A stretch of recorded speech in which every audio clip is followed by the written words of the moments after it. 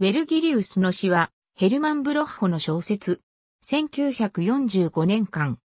古代ローマを代表する詩人、ウェルギリウスの死の直前の18時間を、ジョイスの影響を受けた、意識の流れの手法を織り交ぜた重層的、複合的な文体で描き出した長編小説である。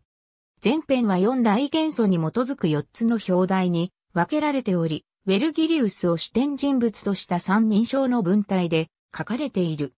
第一小水、到着では、ギリシャへの見聞旅行の中途で熱病に侵された、ウェルギリウスが、船でブルリンギシウムの港に運ばれ、古紙に移されて王宮へ連れて行かれるまでを描く。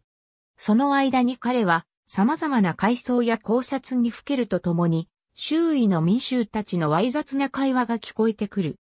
王宮の客までは、帝神が少年、デュサニアスを連れてきて、ベルギリウスは彼と死の道について対話を行う。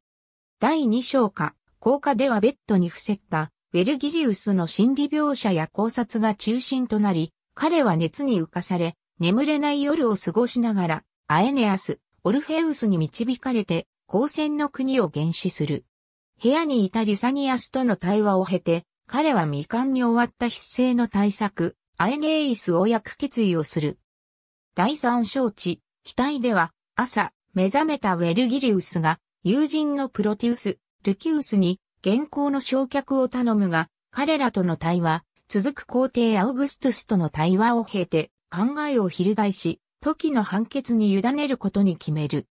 第四章風、気境では、死の床にあるウェルギリウスに、自他の区別がなくなり、彼は動物や植物となった自分を体感しながら死ぬ。彼はリュサニアスのコグ小舟に乗せられ、言葉の彼方へ漂ってゆく。本作はもともと、ラジオ放送の朗読のためのごく短い作品として書かれたものであった。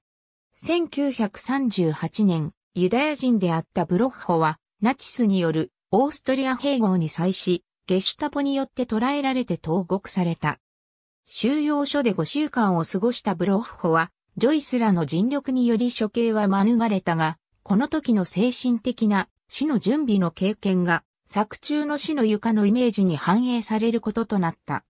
獄中でも書き継がれたウェルギリウスの死は、ブロッホがトーマス・マンらの協力を得てアメリカに亡命した後の1945年、ドイツ語と英語で同時出版され、特にアメリカのインテリ層の間に大きな反響を起こした。ありがとうございます。